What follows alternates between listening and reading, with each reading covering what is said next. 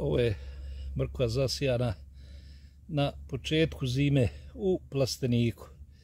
Ona je ponikla jer mrkva podnosi niže temperature, ovo je plastenik bez grijanja, međutim to su sasvim odgovarajuće temperature za klijanje i razvoj mrkve.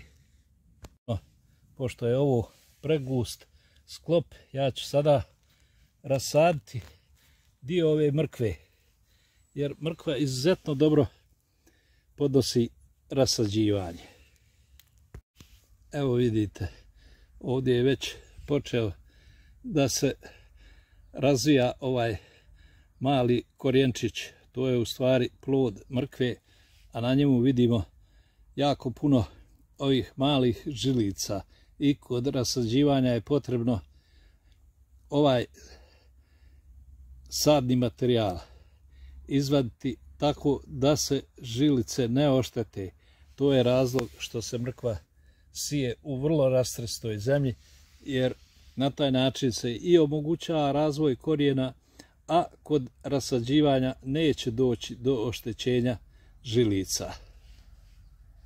Znači u rastrestom i humusastom zemljištu potrebno je napraviti ovaj dosta dubok rov i kako ne bi došlo do savijanja korijena, a mrku sadimo na dubinu na kojoj je ona praktično i bila prije nego što smo je izvadili da bismo je rasadili i jednostavno samo